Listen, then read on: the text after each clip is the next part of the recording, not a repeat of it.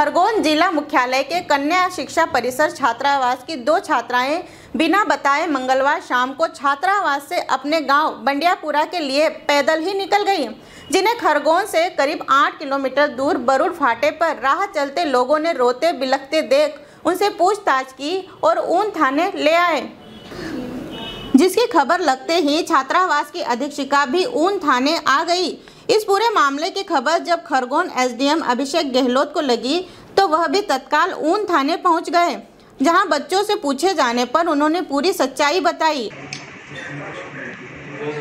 बेटा papa mummy से मिलने की याद आ रही थी या ऐसे ही टीचर ने कुछ परेशान कर दिया? हम्म? घर की याद आ रही थी तो टीचर को बता देते, बेटा, टीचर छुड़वा देती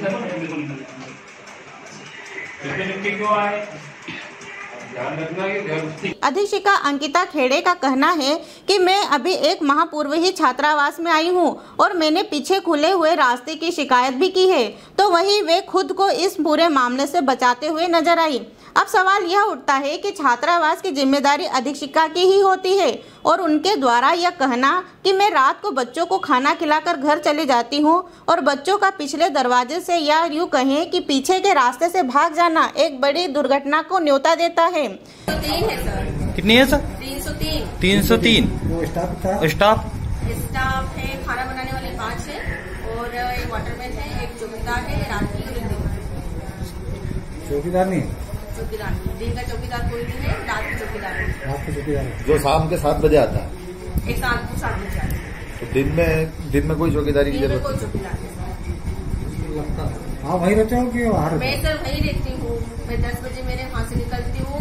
सारे बच्चों को जो छठी से आठवीं तक के बच्चों को साढ़े नौ बजे सुला के तो दस बजे तक मैं वही रहती हूँ। दस बजे फिर मेरे दोनों बच्चों को लेके फिर मैं मेरे घर जाती हूँ। क्योंकि वहाँ रहने की सुविधा नहीं है सर।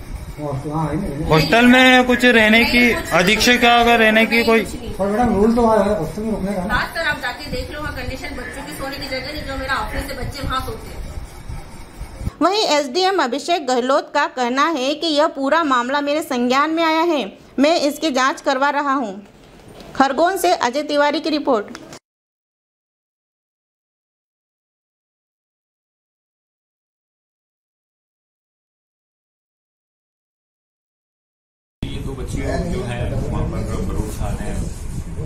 के पास में प्राप्त हुई थी गाँव के पत्रकार बंधु हुई थी।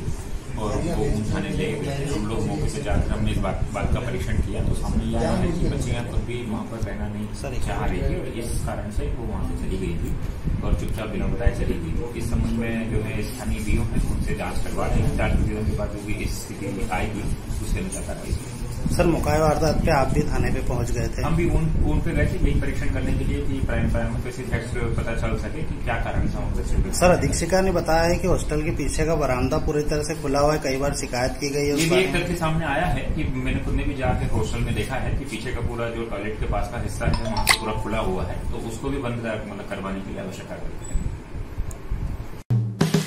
हेलो फ्रेंड्स आप देख रहे हैं हमारा channel S W twenty four news हमारे सारे वीडियो सबसे पहले देखने के लिए आप हमारे चैनल को सब्सक्राइब करें और पास में लगे बेल आइकन को दबाना बिल्कुल भी ना भूलें।